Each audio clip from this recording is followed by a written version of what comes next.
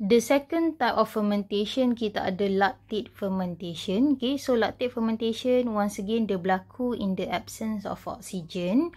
And then for example dia berlaku pada muscle cells ataupun animal cells during rapid and vigorous exercise. Which is masa kita tengah buat vigorous exercise. Contohnya kita sprint berapa ratus meter ataupun kita jogging. Okay dengan pace yang sangat laju. Uh, so kita punya muscle cells waktu tu depleted of oxygen.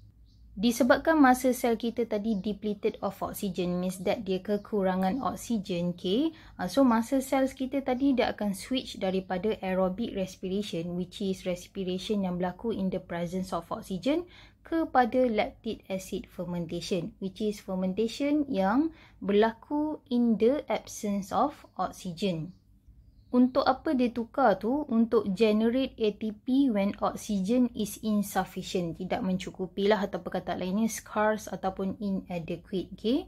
Uh, so kenapa penting masa sel kita ni tukar daripada aerobic respiration yang berlaku in the presence of oxygen kepada lactate fermentation yang berlaku in the absence of oxygen? Uh, jawapannya to ensure that ATP production continue even in the absence of oxygen. That is why bila kita stop okay, ataupun kita mengakhiri aktiviti kita yang vigorous tadi, selalunya beberapa minit selepas tu kita mula akan rasa penat. And then kita punya masa, okay, bahagian badan kita mula rasa sakit-sakit lah. Ha, yang ni for those yang tak selalu buat vigorous activity. And then we will notice that after several hours kita berhenti daripada buat vigorous activity tadi ataupun kita berehat, uh, so kita akan perasan sakit-sakit tu akan hilang. Okay, actually lactic acid ni akan ditukarkan balik kepada pyruvate dekat liver. Okay, so kita tak boleh simpan lactic acid ni lama-lama. Okay, kita tengok sebab dia apa. Sebabnya accumulation, okay, pengumpulan lactic acid ni akan menyebabkan fatigue. Fatigue ni maksudnya penat lah and then cramp, kekejangan and then dia akan lower kita punya blood pH dalam kita punya muscle. So kita tak nak benda ni berlaku.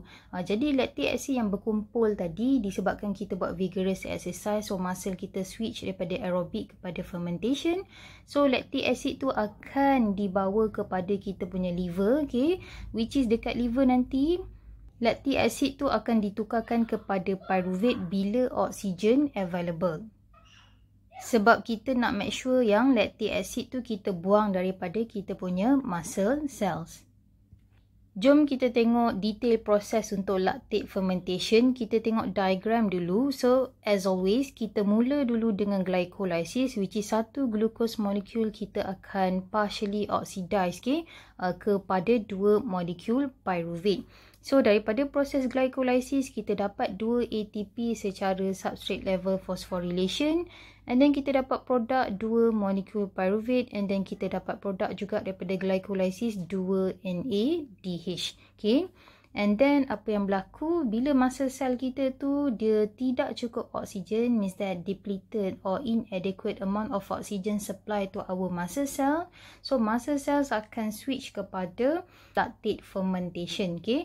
Uh, which is apa yang berlaku kita tengok step pertama prosesnya adalah reduction.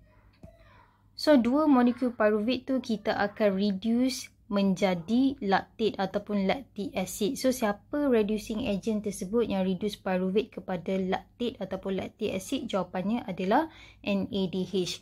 Okey, dekat sini kita perasan kalau kita compare lactate fermentation dengan alcohol fermentation, alcohol fermentation dia ada intermediate substance kan, uh, which is ethanol ataupun acetaldehyde. Uh, tapi untuk lactate fermentation tidak. Daripada pyruvate yang produk daripada glycolysis terus sahaja kita reduce menjadi lactate ataupun lactic acid.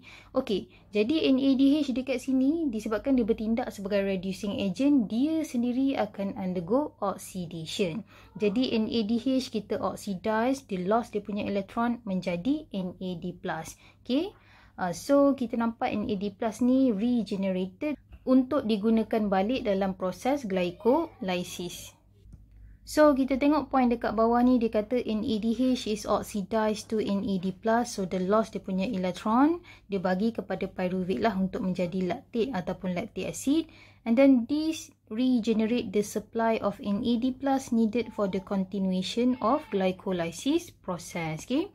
And then ada penambahan dekat sini kalau soalan tanya apa enzim yang terlibat dalam reaction pyruvate kita nak tukar kepada lactate. Jawapannya adalah lactate dehydrogenase. Ha, yang ni extra information okay? And then kita nampak dua dua dua ni merujuk kepada molekul okay? Ha, so yang tu take note jangan ditinggalkan